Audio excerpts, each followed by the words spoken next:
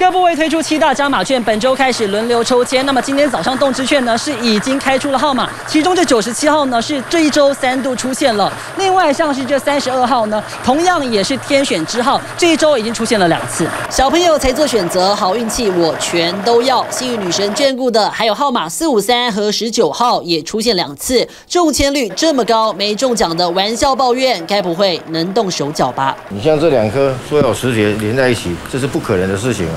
动的话，它里面没有真空的话，就回弹的几率就就很很很小。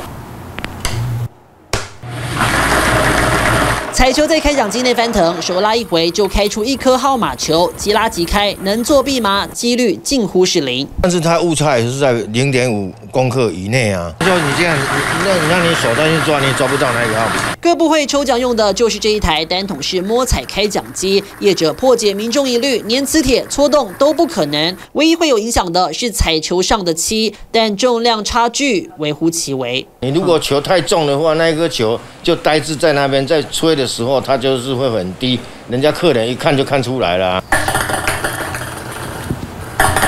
彩球放进开奖机前，在观众眼前一颗颗检查号码，层层关卡，作弊很难。另外，像大乐透也有分析冷热门球号，一号被开出两百六十九次最多，比最冷门的二十四号中签多六十四次，但特别号却少了二十次。显然，你的 lucky number 没有中，可能只是天注定。TVB 新闻张敏如宣彤台北报道。想扩大国际视野，掌握趋势，请订阅专门报道国际新闻的 YouTube 频道 TVBS 国际 Plus，记得要开启小铃铛哦。